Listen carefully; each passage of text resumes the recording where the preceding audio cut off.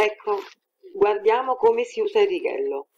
Questo è un righello che voi dovete mettere sul tavolo ed è molto utile ed è, sarà facilissimo scrivere le coppie che danno il numero 2.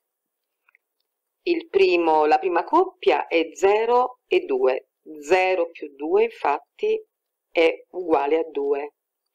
Poi la seconda coppia è 1 più 1 uguale a 2.